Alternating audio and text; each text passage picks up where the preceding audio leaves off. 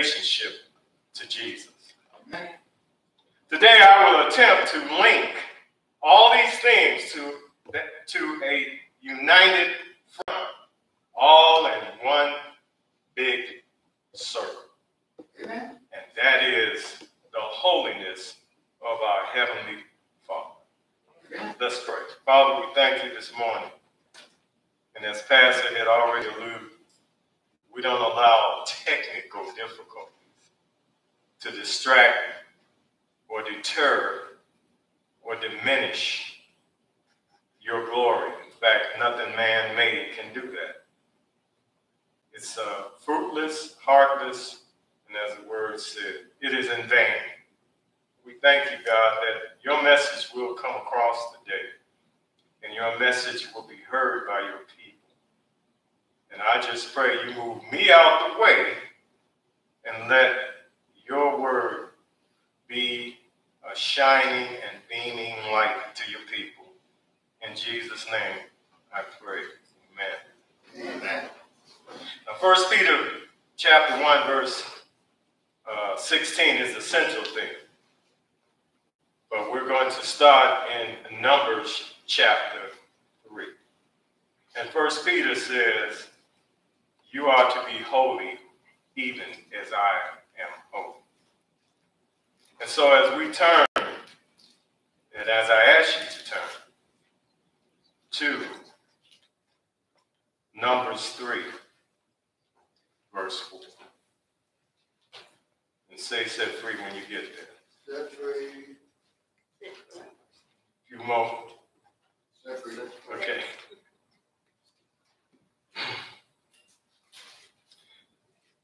All right. When the Lord saw that Moses he, when the Lord saw he, Moses, turned aside to look.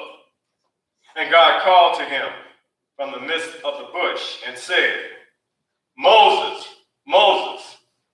And he said, Here I am. Then he said, meaning God, Don't come near here. Remove your sandals from your feet for you are standing on holy ground. Moses' sandals had contaminated the soil, and, and God had to tell him not to track that dirt soil on, on the ground that God was occupying. Did y'all get that? Numbers four what? Numbers three what? I said Numbers 3, verse 4. Sorry, sorry, sorry, sorry. I'm moving ahead. Tell me to slow my roll. Is that free? All right. I gave you the wrong scripture. My bad.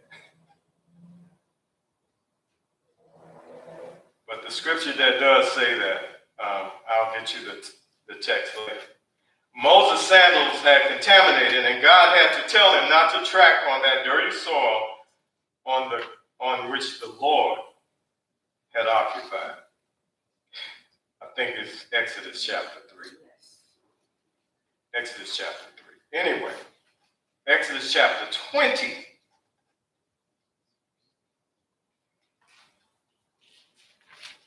Let's make sure we are on the right page.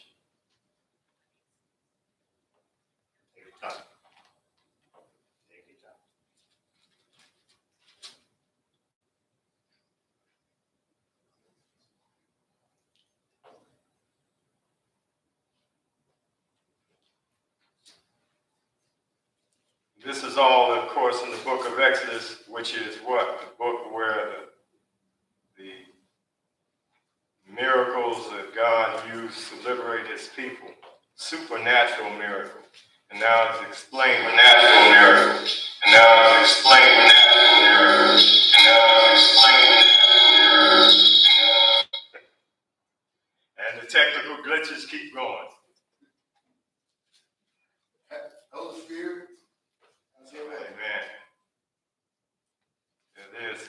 Chapter 20, verses 25. And it says, And if you will make me an altar of stone, you shall build it out of hew, hew stones. For if you lift a tool upon it, you have polluted it. Verse 6 You shall go, you shall neither go by steps to my altar, that your nakedness be not exposed upon it. So, what is that all about, Brother Keith? Yes. What it's about is the holiness of God. Even the altar that was built could not have man made tools, which again is contaminating the holiness of that stone. And, and a little background information when I was researching this it said hew stones were special stones that were neither sharpened, that were either sharpened by a stream of water or by striking of a rock. So the rock striking the stone, not a handmade tool, but the rock or the streams of running water that sharpened over the years, that sharpened this hewed stone. As for the attire that men wore, inner tunics or undergarments back in those days, and there's still some places in the Middle East as well as in Africa where men wear the long robes. And when they step up to the altar, the Lord said, Don't even do that because you expose your undergarment. The word nakedness does not mean without clothes, but it was just sharing that the holiness of God is just that high. Amen. He is not. Mm. He is not, and we are not. Mhm. Did y'all catch that? We are not to expose anything to our Lord. And that's how holy he is. That's the that's the point. And they usually wore these long garments to their ankles. And they were held in place by a girdle made of either cloth or leather. That was their belt. Like we wear this little strip around our waist, now. That was their belt. And which was worn over like a coat or a shirt or skirt. In other words, there was no pants in those days. Amen. I don't know, that's hard for me to figure that out. This is way before pants. Uh, what is probably millenniums before pants. Which leads us to point number one. Willie. There's always someone who is trying to say amen before the point is made. Reverential respect is due to our holy God. Should I say that again? Amen. Point number one, reverential respect due to our uh, holy God. Now, backtrack to Exodus verse chapter 19. Exodus chapter 19, verses 3 to 6. And this is all in the Amplified, of course. And so Moses went up to God, and the Lord called him out of the mountain. Say this to the house of Jacob and tell the Israelites, verse 4. You have seen what I did to the Egyptians and how I bore you on eagle's wings and brought you to myself. Verse 5. Now, therefore, if you will obey my voice in truth and keep my covenant, then you shall be my own peculiar possession and treasure from among and above all peoples. For all the earth is mine. Verse 6. And you shall become to me a kingdom of priests, a holy nation. There's that word again, holy, consecrated, set apart to the worship of God. That's what holy means. These are the words you shall speak to the Israelites. There is a cross reference also. That's a biblical, that's a Bible study term found in the New Testament. And if you would like, and I'll wait on you, Titus chapter 2, verse 14. Anybody learn anything tonight, today? I mean, forgot my days and nights. That's what happens when you get old. uh, as my mother used to say, keep living, you'll get there. Titus chapter 2, 14. Just another example of how the Old Testament is backed up by the New Testament and vice versa. Amen? Amen. All right. Who gave himself on our behalf that he might redeem us, purchase our freedom from all iniquity, and purify for himself a people to be peculiar his own, people who are eager and enthusiastic about living a life that is God, that is good and filled with beneficial deeds. This leads to point two. Just wanted to just digest there for a minute. We can have God with us daily. We can have a walk with God daily. He's not hidden somewhere in the tabernacle, a box that was carried with four long sticks. That was the tabernacle. Only the priests could carry that, not the common people like you and I. What a privilege. What a privilege. As we have read in the Old Testament, the prophets or priests had that privilege, and even then it was only on special occasions. Note is found in Acts chapter 2, and I'm going to read in the King James, verse 17.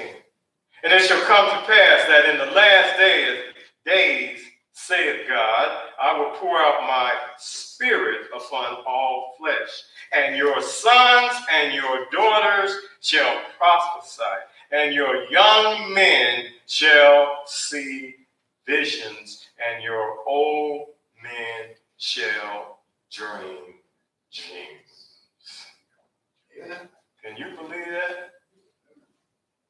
That if we walk that tight with God, that our children will begin to see the dream dreams, and some of us old folks will have visions.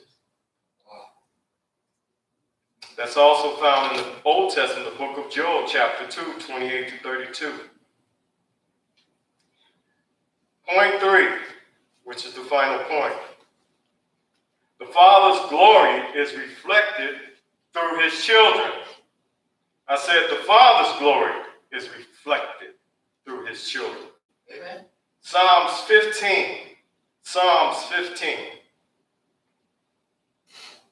I'm not going to read the whole chapter, but I just thought that one of the most surprising things I found as I began to do this preparation, I said, Lord, how come I never saw this before?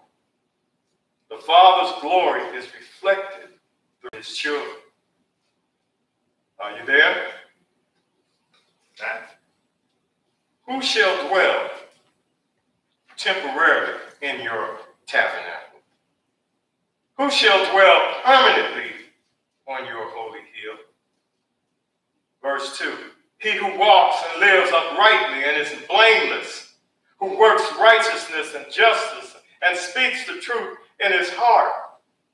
Verse 3 He does not slander with his tongue, nor takes up a reproach against his neighbor. Your assignment is to read the last remaining verses. You can do that, right? Amen. So I would like to just share what I think our orders from God are, starting in verse 1. We are to live with Him in obedience on earth and in heaven. Verse 2 We are to walk straight with no selfish agenda.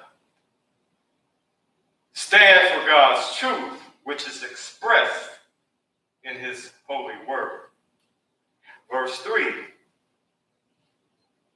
They, meaning those of us who walk with the Lord, don't badmouth people. They don't backstab friends. They don't start or cause dissension among non-family members. Verse 4, they don't hate on the unrighteous. Respect those who reverence Jesus. Verse 5, they give money and possessions at a loss. If they loan, they don't profit from it. They don't take kickbacks or money under the table. What? This, in simple terms, is how a person of holiness lives. Me? I have